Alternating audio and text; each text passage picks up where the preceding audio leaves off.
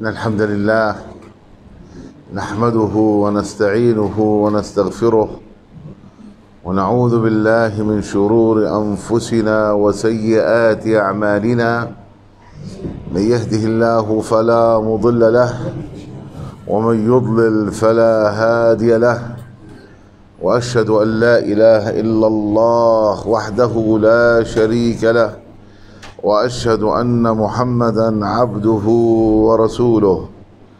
أما بعد فإن خير الكلام كلام الله وخير الهدي هدي محمد صلى الله عليه وسلم وشر الأمور محدثاتها وكل محدثة بدعة وكل بدعة ضلالة وكل ضلالة في النار. أحبائي في الله مع كتاب سير أعلام النبلاء للحافظ شمس الدين الذهبي نعيش بمشيئة الله مع ترجمه عالم وهو في عداد التابعين وهو بكر بن عبد الله المزني.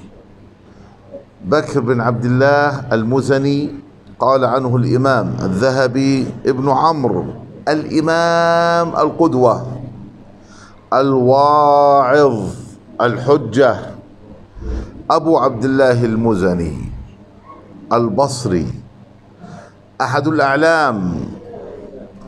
انظر ماذا قال الواعظ. ما معنى الواعظ؟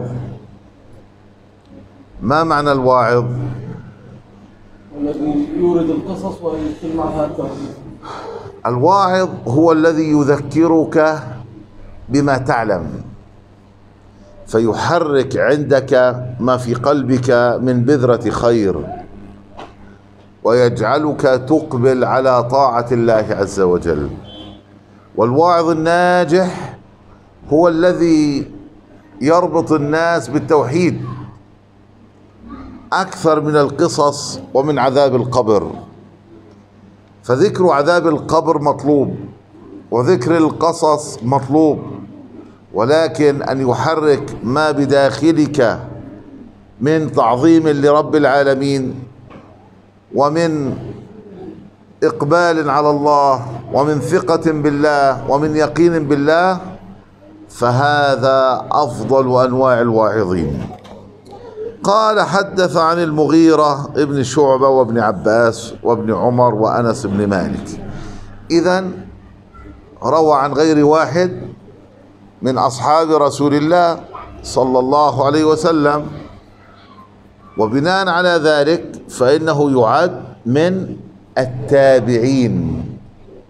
فإنه يعد من التابعين. قال محمد بن سعد الكاتب وهو الشهير بابن طبقات ابن سعد قال كان بكر المزني ثقة ثبتا كثير الحديث حجة حجة فقيها. انظر ماذا جمع بكر بن عبد الله المزني من صفات فلو وجد فيه صفة واحدة فقط لكفته فكيف وإذا به يجمع عدة صفات من صفات العلماء؟ واحد ثقة ثقة عالم يقبل خبره ولا يتركه وهم فهذا عالم لكنه أعلى من ذلك. ثقة كان ثقة ثبتا وها عند التأكيد بمثل هذه الأوصاف فيكون درجة أعلى من فقط ثقة وبالتالي من أعلى درجات العلماء. ثم قال كثير الحديث حجة فقيها. فانظر كيف جمع بين علم الحديث وبين الفقه في دين الله جل في علاه. قال عبد الله ابنه قال عبد الله بن بكر أخبرتني أختي. قالت كان أبوك قد جعل على نفسه ألا يسمع رجلين يتنازعان في القدر إلا قام فصلى ركعتين.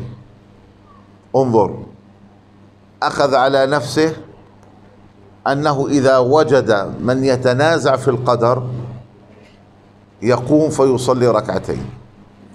بداية ما معنى يتنازع في القدر؟ ما معنى يتنازع في القدر؟ نعم يتجادلان في موضوع القدر. لأن هناك من خرجت فرقة تنسب نفسها للإسلام وهم مسلمون لكنهم على ضلال في هذه الجهة. كانوا يقولون لا قدر والأمر أنف. وهناك من تصدى لهم وحتى القدرية فيما بينهم اختلفوا وتناقشوا. فبكر كان إذا وجد ورأى مثل هذا الشيء ماذا يفعل؟ يترك المجلس ويقوم فيصلي ركعتين. لما يصلي ركعتين؟ لما يصلي ركعتين؟ يصلي ليطهر قلبه. واحد كما قال أخونا من الشبه. اثنين من الإثم. ثلاث من توبة إلى الله عز وجل أنه ابتلي بمثل هؤلاء القوم. فهذا إن دل دل على شيء في بلده. ماذا يدل؟ أحسنت على انتشار القدرية في بلده. وقد يبتلى العالم وهو صاحب سنة لكن يعيش في بلد منتشرة فيها البدع. فماذا دوره؟ أن يثبت على السنة. اثنين أن يعمل على نشر السنة. ثلاث أن يصبر على الأذى الذي سيلحقه بنشر السنة. ولن ننسى شيخنا الألباني رحمة الله عليه عندما نشأ في بيئة في مسجده وفي حيه وفي مدينته وفي بلده لا توجد السنة. فبدأ رحمه الله يدعو إلى الله بالحكمة والموعظة الحسنة. وانظر ماذا يحتاج الأمر. واحد إلى توفيق الله جل في علاه. اثنين إلى علم كثير. حتى يقنع الذي أمامه. ثلاث إلى صبر على الأذى الذي سيلحقه بسبب دعوته إلى السنة. وكان منه رحمه الله أن أدى هذه الأشياء. فطلب التوفيق من الله وأقبل على العلم إقبالا شهد له الجميع بحرصه على وقته وعلى التفقه في الدين. ثلاث كان لا يقصر إلا بما يعتريه البشر من دعوة إلى السنة من دعوة إلى الكتاب والسنة الصحيحة. حتى أكرمه الله واستجاب عدد كبير من أهل بلده وحيه وبلده ومدينته فأقبلوا على السنة. إذا الأمر ليس سهلا. فهذا ما حدث مع بكر بن عبد الله المزني. قال الذهبي قلت هذا يدل على أن البصرة كانت تغلي في ذلك الوقت بالقدر. كانت تغلي. أي انتشر فيها من يقول لا قدر والأمر أنف انظر إلى هذه العبارات من بكر بن عبد الله المزني ماذا قال؟ قال ابنه يروي قال عبد الله بن بكر سمعت إنسانا وهذا من فضل الله على بكر أن رزقه الله ابنا ينشر علمه ويأتي بأشياء لا يطلع عليها إلا المقربون. كما قبل قليل نقل خبرا عنه عن طريق أخته. فلو كان تلميذا عند بكر ربما لم يصل إلى ابنة بكر. لكن هذا تلميذه ابنه. فانظر من فضل الله عليك أن يكرمك الله بابن ينقل علمك. لكن هذا يحتاج إلى بعد فضل الله إلى تعب. فلذا كثير من الآباء لا يتعبون. تعال يا ابني معي على الدرس بديش براحتك يا ابني. تعال يا ابني على المسجد بديش براحتك يا ابني. ما شاء الله. لا إحنا ما بنغصبه دادي دادي براحتك شو دادي دادي؟ هذه فرائض. يقبل على المسجد. لا تنم الليل. حتى يقبل ابنك على المساجد وعلى حلق العلم. لو مرة في الأسبوع. كان مقصرا. فإذا انظر إخواني في الله إلى حال الآباء كيف يزهدون في تربية أبنائهم. فتجده يشهد المساجد. ولكن أين أولاده؟ ولا حول ولا قوة إلا بالله. فماذا قال ابنه عبد الله؟ قال سمعت إنسانا يحدث عن أبي أنه كان واقفا بعرفة. بكر كان في الحج. وطبعا أعظم ركن من أركان الحج ماذا؟ عرفة. أعظم ركن وليس هو الوحيد. فهو واقف بعرفة. والناس ترجو من الله المغفرة والرحمة. فماذا قال؟ قال لولا أني فيهم لولا أني مع الحجاج في هذه السنة لقلت قد غفر لهم. يعني يتهم مين؟ نفسه. يعني أنا سبب قد أكون سبب عدم حصول الجميع المغفرة. يخاف. على نفسه. مش وين؟ والله كنت في الحج. اللهم بارك يعني رجعت كرت أبيض؟ كما نسمع من بعض العوام. شو كرت أبيض وسيارة؟ رجعت كرت أبيض؟ إيه ولا رجعت من الحج؟ عادك يوم ولدته أمه. وهو نص أركان الحج مش مسويها. وطول الحج هو يتصور. رحت على منى في اليوم الثامن؟ لا والله وين رامي؟ صليت الفجر في مزدلفة؟ لا والله وين صليت الفجر. يا رجل طفت اليوم العاشر؟ لا والله ما إيه إيه. رميت؟ لا والله وكلت. أكذب عليك؟ أكذب عليك أقول لك طفت أكذب عليك أقول لك صليت الفجر مزدلفة؟ أكذب عليك أقول لك حجيت؟ إيه.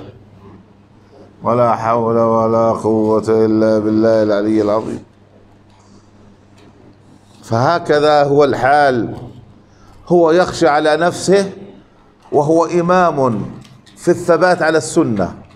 وفيما نحسبه على تقوى الله وفي اتباع السنة في الحج. ومع ذلك يخشى ألا يغفر الله له. وهذه الخشية سببت له ماذا؟ إقبالا على طاعة الله.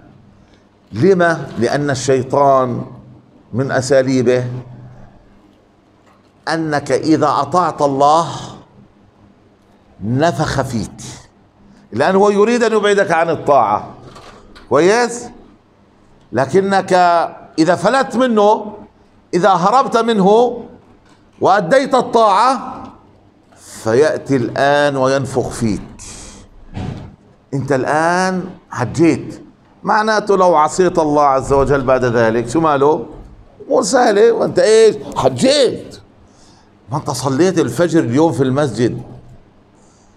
شو المشكلة لو أطلقت بصرك على النسوان؟ أو حضرت لك فيلم؟ والعياذ بالله. ها ببلش ينفخ فيك. لا بكر العكس كلما ازداد طاعة لله ازداد خشية لله وازداد تهمة لنفسه تنبه إلى هذا الفخ وين رايح؟ رايح والله في معصية بدي ارتكبها، ليه؟ يا رجل ما صلينا الفجر في الجامع وقرأنا قرآن وحضرنا درس، الآن بدنا نروح إيش؟ نرتكب معصية والعياذ بالله. هذا ما زلنا نسمعه لغاية الآن. وين رايح؟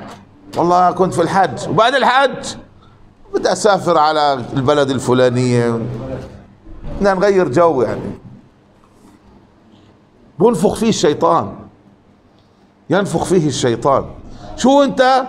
والله حفظت كتاب الله. أحسنت. لأن إيش؟ بدي آخذ لي قرض من البنك يا رجل هيك. يعني هي كبيرة صح يعني. وأنا صرت مجرم. لكن أنا إيش؟ حفظت كتاب الله. يبدأ ينفخ فيه. يسهل له إيش؟ المعاصي. شو؟ لا والله أنا قاطع رحم. إلي خمس عمام. بزور أربعة لكن الخامس شو ماله؟ ما بزوره. هيك بصير قاطع رحم. يا رجل آه بس ما أنا حافظ القرآن. يعني لا يدخل الجنة قاطع رحم. تنبه تنبه إيش معنى هذا الكلام؟ قال أبو هلال عن غالب القطان عن بكر أنه لما ذهب به للقضاء يعني استدعوه حتى يصير إيش؟ قاضي. تصور أنت تستدعى تصير قاضي. لا تنزلها على الفيسبوك. وتنزلها على تويتر. وتوزع حلويات وثلاث أيام لا القريه بتاعتك نايمة ولا ولا أنت مخلي حدا ينام من كثر ما أنت إيش فرحان صرت إيش قاضي بإيدك الحبس. و... شو ليش واقف هيك؟ حط أسبوع سجن. له صلاحيات. له صلاحيات. مرة براجع في في المحكمة وأنا شاهد. فإذا دخلت على القاضي فإذا هي قاضية. امرأة. إيه؟ فهي بتسألني. بجاوب لها بتقول لي اسمع. أوف أوف أوف. بستبعدك من الشهادة. طب ما تستبعديني. وأنا قاعد الحالة على الشهادة. فعقلي طبعا أنا بسترجع أحكي لها. قال بستبعدك طب ما تستبعديني يعني. لا خوفتيني والله. إذا الشاهد جاي تخوفه. كيف لو إني متهم هذا؟ لا احبسيني على طول الله يرضى عليك. ويا ويلك إذا حائض وبطنها بوجع وظهرها بوجع هسه. إعدام. يا بنت الحلال طولي أنا بدي أموت بطني بوجع وظهري بوجع. إعدام. لا حول ولا قوة. يا جماعة أجلوا الجلسة يومين ثلاثة بين ما المرأة. أعطوها ربال أعطوها شيء يخفف وجع بطنها. لا يفلح قوم ولوا أمرهم امرأة. لا حول ولا قوة إلا بالله. والله ما تفتحوا لنا موضوع القضاء هو هذا الله يسامحه الإمام الذهبي جاب لنا قصة. فدعي باكر إلى القضاء. فعندما دعي للقضاء فحكى للمسؤول قال له إني سأخبرك عني. إحنا قلنا بكر إيش؟ حافظ ثقة فقيه إمام. قال له تفضل بدك تصير قاضي. قال أريد أن أخبرك عني. قال تفضل. شو بدك تخبر؟ قال إني لا علم لي والله بالقضاء. والله حلف. له لأنه هنا الحلف للحاجة فإن كنت صادقا فما ينبغي لك أن تستعملني. وإن كنت كاذبا إذا أنا حلفت كذب فلا تولي كاذبا. يعني وقع اللي قدامه. شو بده كيف بده يعينه هسه؟ فهمتوا الكلام؟ بقول والله لا علم لي بالقضاء. لا علم لك بالقضاء؟ فإن كنت صادقا فلا يجوز لك إنك إيش؟ تعيني وإن كنت كاذبا لا يجوز لك إنك تعيني برضه لأنه أنا كذاب. كانوا يهربون من القضاء. ليش؟ قاضيان في النار وقاض في الجنة. أمر مخيف. يا جماعة السلام إحنا ما عايشين في هالدنيا. نطلع والله راضي عنا.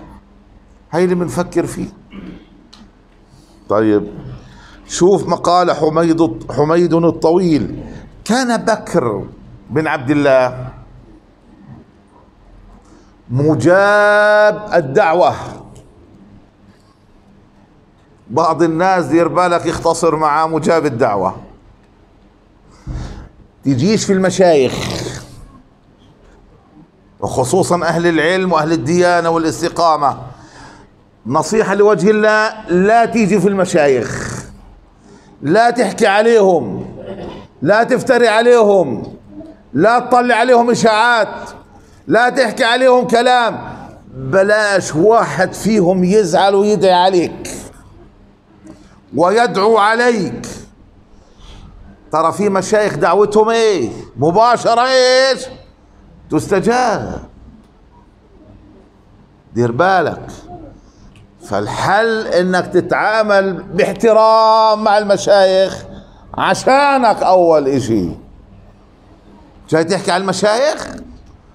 وتساوي نكت عليهم على الفيسبوك وتساوي سخريات وكاريكاتير على أهل الديانة والاستقامة.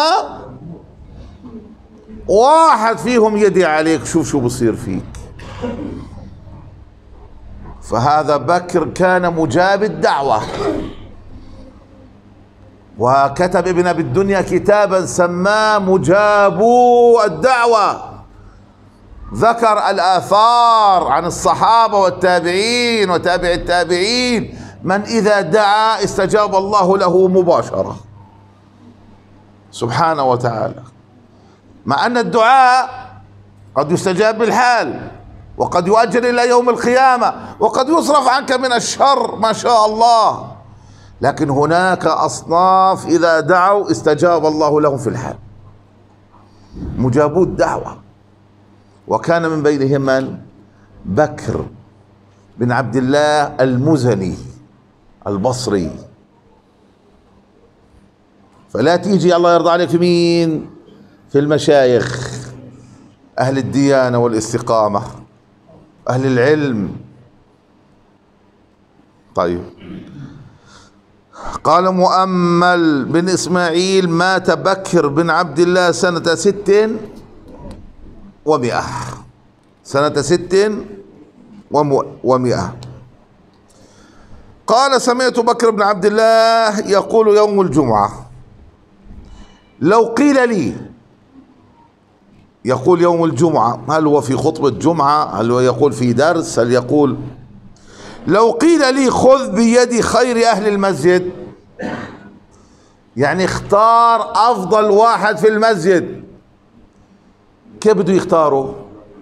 انت شو بتتوقع؟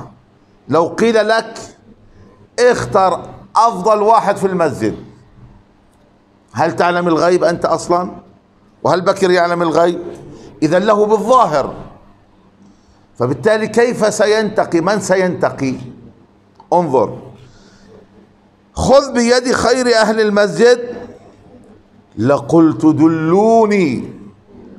على أنصحهم لعامتهم.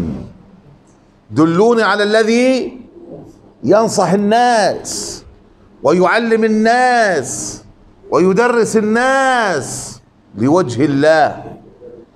ومن أحسن قولا ممن دعا إلى الله. ما في أحسن من هيك.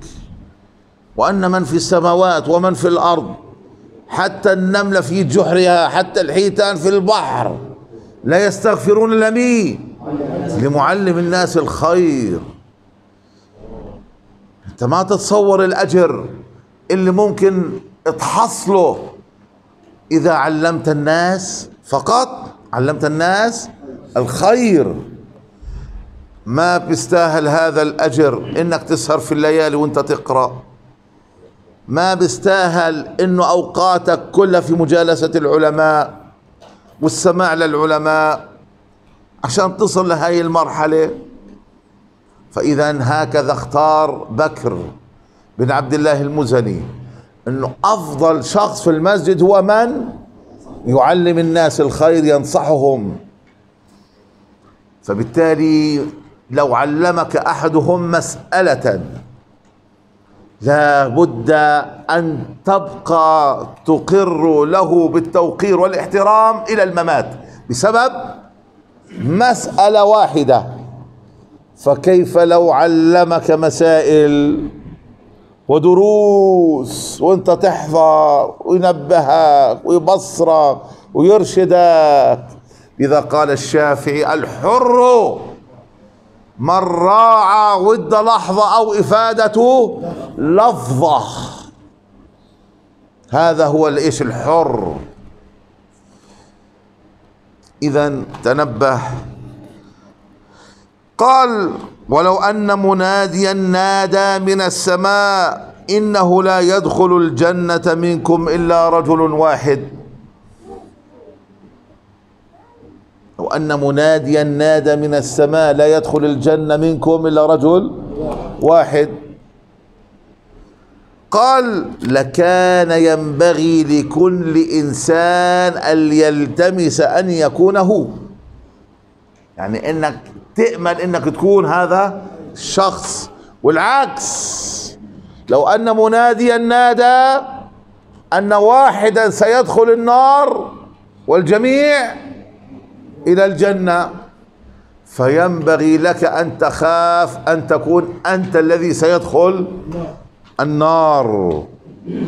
فاذا إخواني في الله هذه ترجمة مختصرة لبكر بن عبد الله المزني. ننتقل إلى عالم آخر وهو خالد بن معدان.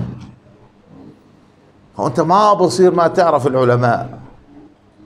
خالد بن معدان. وينبغي لنا أن نعلم أولادنا أسماء العلماء. خالد بن معدان. مش حافظ لي بتعين الكرة. تيجي بتقول لابنك اذكر لي عشر أسماء لعيبة كرة. بقول لك عشرة شو عشرة يابا شو أنت بتستقل فيا؟ خذ لك خمسين ستين واحد مية. بدك من أي بلد يابا؟ وقسم لك على الطبقات. إيه طبقات العلماء ما شاء الله. هذا قلبها الإمام مسلم كتب كتاب الطبقات ولا ابن سعد ولا على مين مسوي؟ على لعيبة الكرة. هذا هي مصيبة تدخل في قلوب الأبناء. انظر إلى أولادك. من نجومهم؟ من نجومهم؟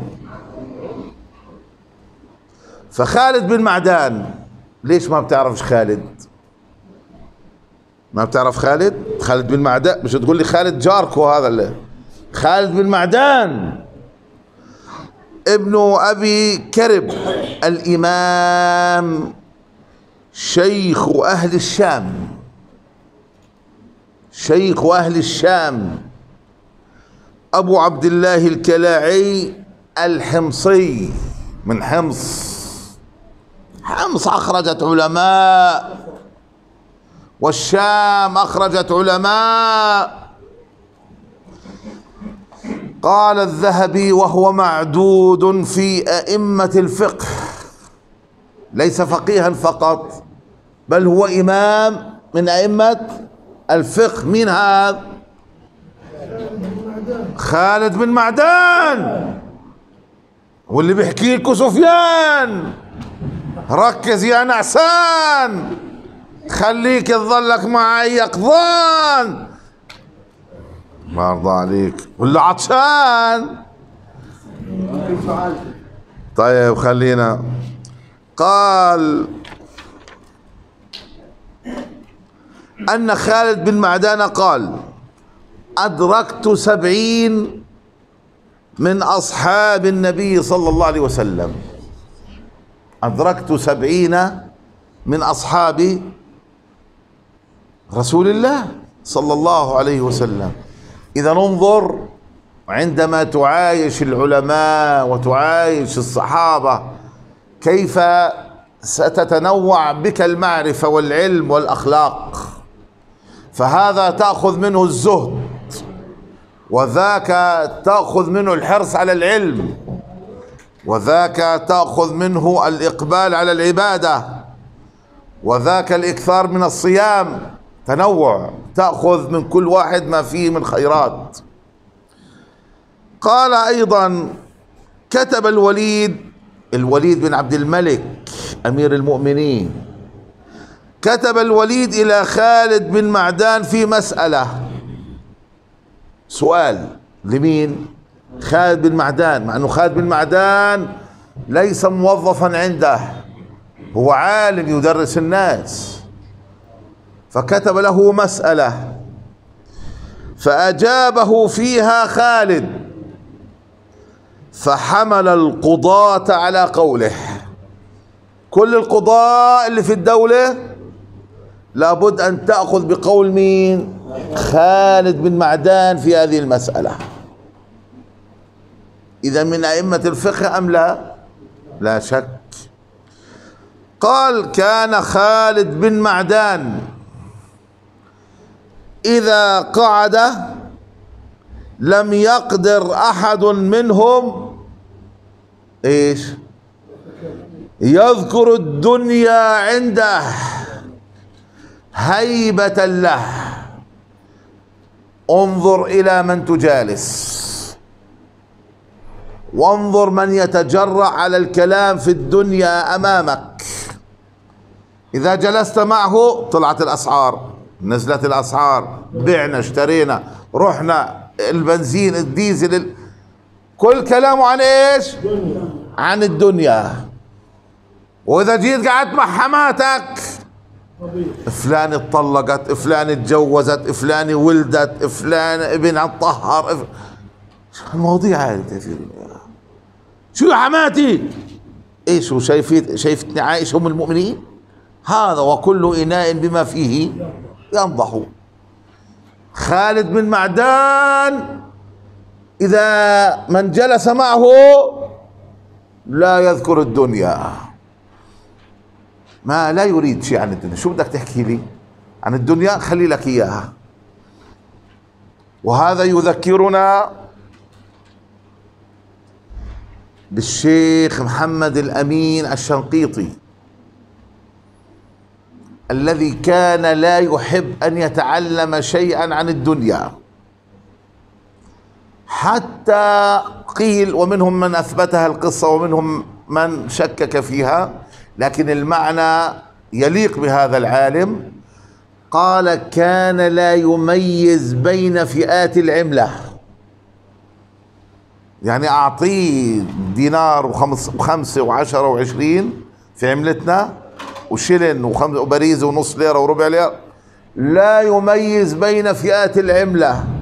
كل تفكيره بإيش؟ بالعلم بتقوى الله بالآخرة بمرضاة الله.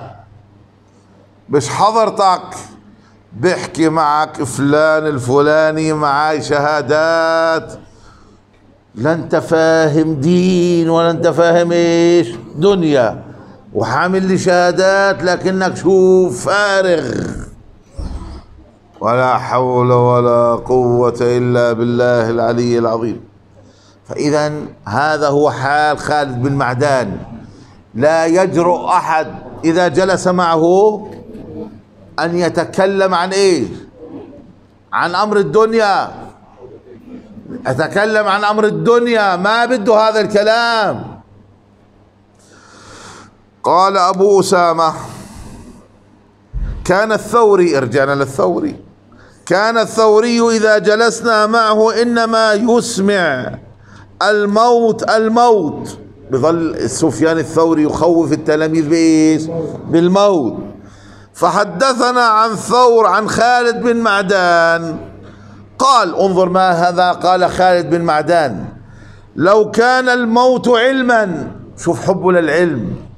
لو كان الموت علما يستبق إليه ما سبقني أحد. يعني لو قيل لك سوف تتعلم وبعد ما تتعلم إيش؟ تموت. ما سبقني أحد. إلا أن يسبقني رجل بفضل قوة. انظر هذا الفضل لحب إيش؟ حب العلم. طب نقول لك في عندنا درس. أول كلمة في واحد يوصلني؟ في واحد يرجعني؟ وين الدرس؟ عن إيش الموضوع؟ أوف أوف أوف. إمام ما شاء الله بده المواضيع تعبتونا يا جماعة تعبتونا نحضر لنا أسبوعين عندك بعدين نشوف لنا واحد ثاني. نرجع لك بعد شهرين. راح العمر. من أهم أسباب النجاح في العلم الثبات. قال فما زال الثوري يحب خالد بن معدان منذ بلغه هذا عنه. عندما رآه أنه سيموت مقابل تحصيل العلم. علم الدين علم الكتاب والسنة. بعض الناس يسافر خارج ال- البلد من أجل علم الدنيا. يقول لك برجع مهندس برجع طبيب. ولا حول ولا قوة إلا بالله. ولو قيل له هاجر خارج البلد. لكي تتعلم الكتاب والسنة. قال لك شو بتحكي؟ إحنا دروس عندنا في الحارة شو مالها؟ مش حاضرين. وإذا حضرنا بنشوش على الشيخ. ولا حول ولا قوة إلا بالله. قال الأوزاعي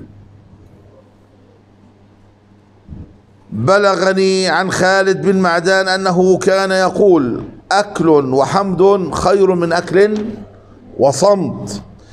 قال انظر هاي الملاحظة المهمة جدا يا جماعة انتبهوا لها. انتبهوا لها. لو ما استفدت من الدرس إلا هاي الملاحظة لكفاك من كلام خالد بن معدان. انظر. قال خالد بن معدان إذا فتح أحدكم باب خير طبعا ربما إذا فتح لأحدكم باب خير فليسرع إليه. ليش؟ فإنه لا يدري متى يغلق عنه. متى أتيح لك باب طاعات؟ اغتنمها. لأنك لاحقا ربما لا تستطيع أن تطبق هذا. الآن صح لك تحضر سبع دروس في في الأسبوع. بكرة بجوز إيش؟ ما يصح لك. فإياك أن تضيع هذه الدروس. أتيح لك أن تذهب إلى الحج. لا تضيع. بكرة بصير بدك تروح للحج وما بتعرف. أتيح لك الآن تذهب للعمرة. العمرة 180 دينار معلنين عنها. بكرة بتصير تقول بدي أروح عمرة. بس ما عندي وقت ما عندي مال. يا جماعة استيقظوا من سباتكم. من فتح له باب خير فليسارع إليه ليثبت عليه. صح لك يجي شيخ يعطيك درس في منطقتك وبتترك الدرس. كيف لو قلنا لك اقطع لك 200 كيلو عشان تحضر الدرس؟ شو بدك تساوي؟ ولا حول ولا قوة إلا بالله. قال أيضا العين مال. العين عينيك هذول إيش؟ مال يعني رزق. والنفس مال. وخير مال العبد من انتفع به وابتذله أو من انتفع به وابتذله. انتبه انتبه شو بقصد الكلام؟ يا ريتكم تساعدوني. شو بقصد بالكلام خالد بن معدان؟ شو بقصد؟ يا ريتكم تنتبهوا الله يجزيكم الخير.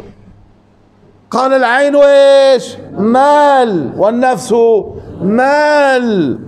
وخير مال العبد ما انتفع به وابتذله ماذا يقصد خالد بن معدان؟ العين مال والنفس مال. استغلال العين بطاعة الله. نعم احسنت أنك هذه النعم التي عندك إذا لم تستغلها في طاعة الله فهي وبال عليك. انظر عينيك وين رايحات على الخلوي؟ جيت على طالب علم ولا هو فاتح لي إيش؟ بيلعب على الخلوي. شو هذا؟ قال لي والله زهقان. زهقان! اقبل على طاعة الله. تنبهوا إخواني في الله. قال وشر أموالك ما لا تراه ولا يراك. طبعا هاي إيش وشر أموالك ما لا تراه ولا يراك. شو انتبه إيش هاي؟ والله ما أنتم مركزين انتبهوا يا حبايب إنه بعض الناس عنده مال كثير لكن لا يراه. ليش لا يراه؟ مسكر عليه حاطه في البنك في زماننا. وخيره لمن؟ قال وحسابه عليك ونفعه لغيرك. انت ليش بتوفر؟ عشان اولادك طيب هذا اولادك بكرة راح يتمتعوا. ولن تجد من يتصدق عنك.